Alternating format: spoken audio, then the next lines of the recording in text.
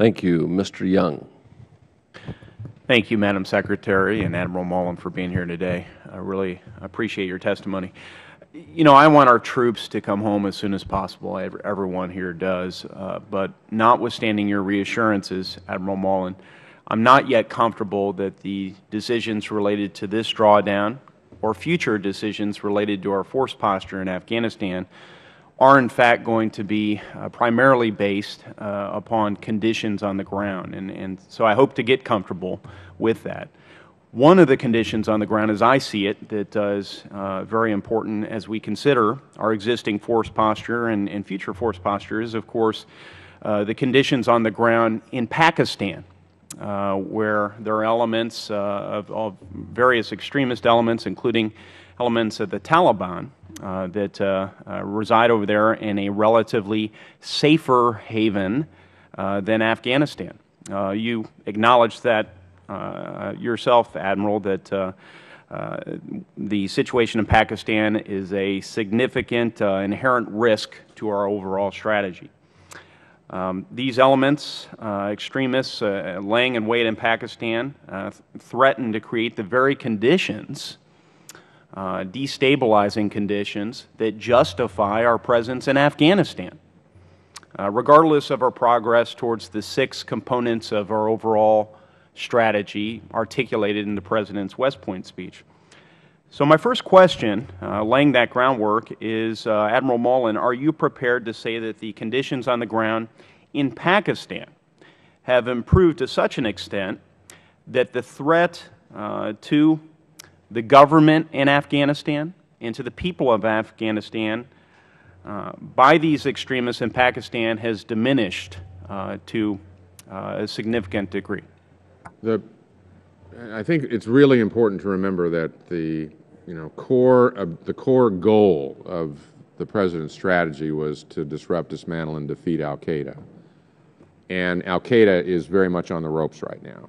I, I don't say that thinking it's over, because they still would like to kill as many of us as they possibly could, and they have aspirational goals to do that. Uh, secondly is to make sure that Afghanistan can't turn into fertile ground for al-Qaeda or another organization which would threaten us long term. And that's really what the Afghanistan piece of this is. I'm going to, I'm to very rudely interject, which is a euphemism for interrupt here on the Hill. But um,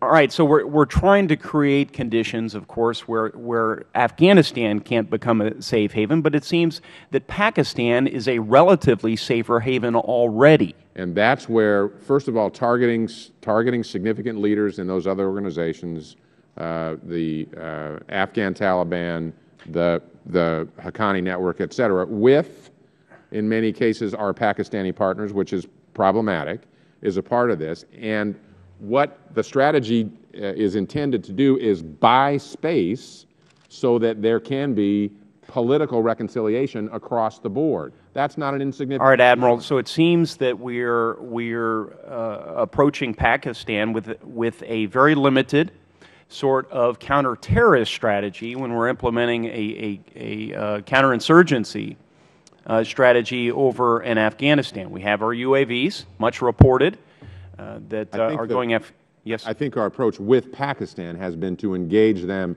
to try to partner with them, support them in training, so that they can deal with with the threats which are both internal to them as well as external. Now, that, that's a very, very difficult strategy and execution just because of what uh, because of both the history, the lack of trust, we left them before, and right. obviously recent okay. events. So, Admiral, in your estimation, uh, you know, we can never uh, we can never send in enough American troops to Afghanistan uh, to create conditions where where uh, the the extremists across the border in Pakistan would not present a threat uh, to the Afghans, uh, conceivably a, a threat no, to the United States. It's got to change in Pakistan. Right. So all of this depends upon the Pakistanis uh, playing ball, if you will, to put it colloquially. There's great risk in the strategy tied to Pakistan. There has been from the beginning. Okay. Now, finally, is our remaining presence on the ground in Afghanistan in part a hedge against or a deterrent to future efforts by these militants in Pakistan to use regions of that country as an unfettered uh, training ground uh, for their activities, or even worst case scenario, to get control of Pakistan's uh, nuclear arsenal, perhaps through violent means? I think through through Pakistani eyes, what you say, that, you know, they are very concerned about an unstable Afghanistan that could threaten them with a much larger force. That's why getting to some level of stability and peaceful outcome here is so important. And I believe if we can, Pakistan will come to that. So as I assess They'll whether we come should to keep that troops there or not, uh, we should in no way factor in the fact that our troops are, are playing a productive role in perhaps deterring those extremists uh, Gentlemen, from taking control of the nuclear arsenal. Am I allowed to answer that? Okay. Admiral, Yes. Can he Well, answer? Can the Admiral, if we could get that question on the record and get Sure. the answer for the committee, I would, would appreciate it. Um, Mr. Latchman?